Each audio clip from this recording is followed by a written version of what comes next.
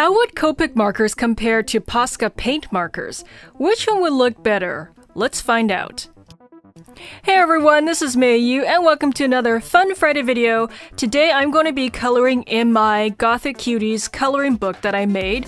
And in this book it has two duplicate images. I'm going to color the first image using Oni Copic markers and the second image using only Posca paint markers. And I chose these different markers colors to be as close to each other as possible so that we can see the difference between these two types of markers. This is the latest episode in my series where I color in my different coloring books I've made using various different art supplies or like color techniques, color schemes. I encourage you to watch these videos, especially if you want to learn different coloring techniques or how to use different art supplies. Also, if you have a copy of Gothic Cuties with you, feel free to color along. If you don't, you can get your copy on my Meiyu bookstore on Amazon. The link's in the video description.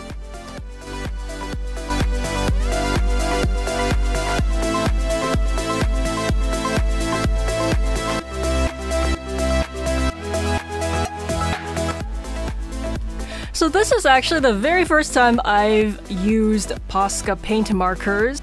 And yeah, I, I was thinking, how is this going to look like in my coloring books? Because I usually color in my different books with like, you know, uh, alcohol-based markers or sometimes like dollar store markers, uh, pencil crayons and all that gel pens even, so this is, you know, it was a different experience, and right off the bat I noticed, because it, you know, Posca paint markers are paint markers, the ink is opaque, uh, it covers the line art.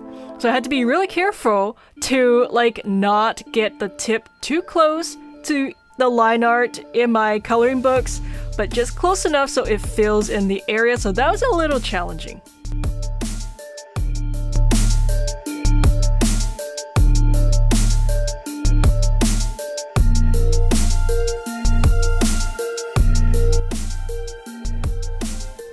Another major difference I found out when I was using the Posca paint markers versus my Copic markers was the fact that the Copic markers um, had the brush tip nibs and the Posca paint markers they just had the like the little dull tips but they were quite hard. They were not very flexible and obviously they're not like a brush tip. So that made a lot of difference in how I wanted to handle the coloring in these pages uh, because with the flexible brush tip of the Copic markers, I could, you know, it's it's really um, like I can do these organic looking strokes and I can go into tiny small areas and corners without going over the lines because it's very easy for the tiny brush tip to just, you know, go into those places.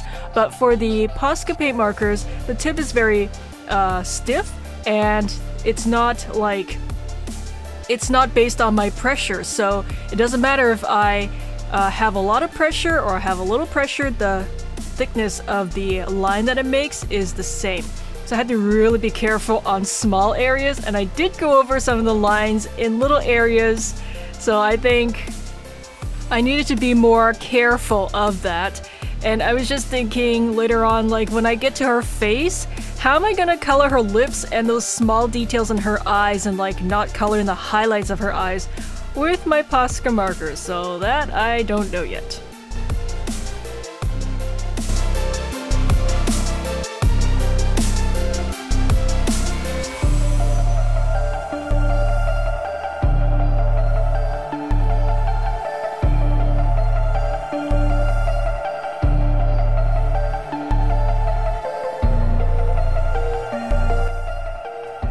Overall, I think the Posca paint markers like colors are brighter and more vivid and obviously it's more solid. You can't really see my actual like strokes. And then the Copic markers have this more of an organic feeling to it. You can see my strokes and the colors tend to be more on the softer side I can't wait to see how both of these uh, look like when they're done. I'm gonna add some striking black in the background now to bring out everything. And then let's compare the finished pieces at the end. Yeah, the black does look really striking.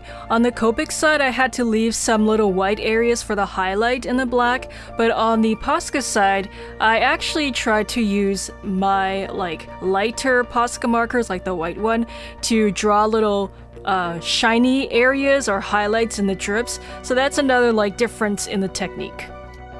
I've also recently made two new how to draw books which shows you how to draw different anime styles for different eyes for male and female characters. More info's at the end. Get your back to school art essentials on my Meiyu bookstore on Amazon. Links in the description.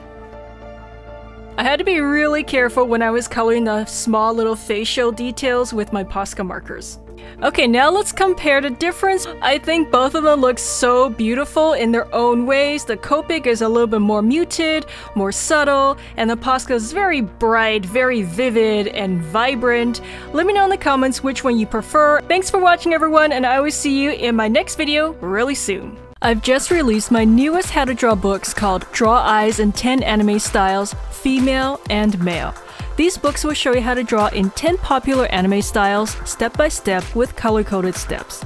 These full color drawing books are like having me as your personal art teacher showing you what to draw, when to draw it, and how to draw it. Ebooks and paperbacks are available on the Meiyu bookstore on Amazon. Kickstart your back to school shopping and get a head start on your art education and drawing practice with these books, as well as over 100 how to draw books on all kinds of topics on my Meiyu bookstore. Have an inspired back to school. Happy drawing!